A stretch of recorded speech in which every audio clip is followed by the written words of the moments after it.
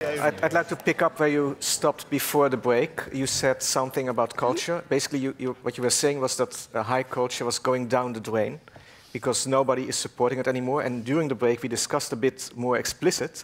And you said it's especially dire in, in, in the Netherlands, whereas in Germany, uh, high culture is more um, supported by the government. And there there's uh, something called Bildungsbürgertum.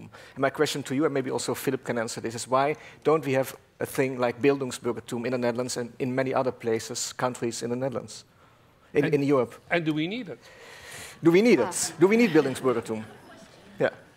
Uh, well, if you're, if you're asking me, hello? Your wrong answer. Um, wrong answer. I'm sorry. Let me start again. Start over again. No um, points. Um, there are actually trapdoors under our chairs, and if we say anything really wrong, we're gone. Um, well, I hesitate to bore you with historical platitudes, but um, it was the way, of course, it was the way of German nationalism originally. There was no political union. The pol union was only in the language and the culture. And culture has stayed, I think, half of all opera houses in the world are in Germany. Um, that is, you know, that is a pretty extraordinary exception it has created a strong sense of, of, of identity, I think, but it is also, and there is again an elite problem here, because there are many people who don't participate in that, and until the Second World War, that was seen as unproblematic. I think today it's quite problematic. I also think the fact that the state runs many cultural institutions isn't only good, because it tends to sort of drift towards a professionalized kind of taste a taste of curators and directors who make decisions for other curators and directors. Um, so, you know, it's, it's the opposite of the American model where you have hugely rich donors, not only giving money for production, but also the taste. Um, so, you know, there are two extremes, and perhaps neither of them is ideal. But do we need this, you ask? Well, of course, that's the greatest utopia decent education for everyone. Um, that would perhaps be something to build up something like a European institution, like a European identity as well. But just to come back to that, because I find it really important, how much I feel Europe has failed to try even to build that up. Yes. In very simple things, let's say we have in many countries military service or civil service. Now, first of all, it's patently absurd that only young men do that, not young women as well. And you could say, okay, as a trade off for your free education, you do your year's social services somewhere. Not in your own country, in a different European country. Go somewhere else for a year. That is something small and something practical, but it's not just Erasmus for, again, the kids of the elite. But that would be something for everyone to see Europe is a reality everywhere. People are remarkably like my family. They have the same problems, the same fuck ups, and actually some of them are really nice. Um, you know, that would be a way of building a Europe, but that sort of thing has never yet happened, and I think that's where we fail terribly no, to build that up. True. The Germans and the French have done this for a long time. They're still doing it, and now but in not, France but they not, want you to know, in a large program that, that, that really grips everyone.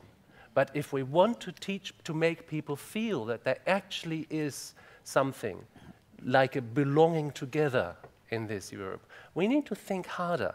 And we need to think harder about something that is part of ordinary people's lives, not just something for the elite, which is European anyway and has always been European. And another thing, when you earlier said people now no longer fight with weapons but with words, well, we're rich. we don't need to fight with weapons. We all have enough. Wait until Still. real poverty returns to Europe and see whether people will only fight with words. I agree with you. Yeah. So, I agree. You know, and, and that, of course, is also why this is not just a nice sort of ornament, the cherry on the cake of European culture to have, you know, to, to, to create this European identity, but, but why it's necessary. Because we've all grown up and lived, most of us, in a time of wealth and security in Europe, indeed an unprecedented one. Now, whether that is only due to the European Union or not, I think is a very debatable point. But it is not necessarily what the future will look like. We will all be poorer in the future.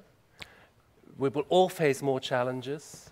And we Why- need why- to create why- something Why that are can. you so sure that we will all be poor?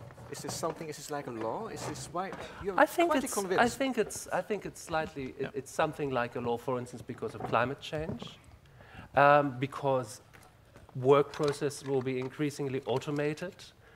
Most people, more than half of their people, of the people, will lose their jobs in the next 30 years. But then we always know, we all know from history that all these innovations also create new jobs. Well, That's not, not- all of them. And, And also you um, can see it I as think that's a a very optimistic vision. But you know, we Yeah. are facing up to huge challenges and changes in the next generation, and we've, we'd better have something to counter them with. We'd better think into the future. And I think at the moment we're sort of administrating our wealth, and that's great, but it won't be enough. Yeah. Could I What just make an economic point here? I don't. I do agree um, that um, um, we will probably be poorer over time if we continue to measure wealth just through GDP. Yes, a very important. That's point. very important. I mean, you know, there are. m- I mean, if we, if we start using welfare measures rather than GDP measures, as actual GDP, the kind of GDP represented by commercial transactions between people declines as a share, other forms of activity will rise.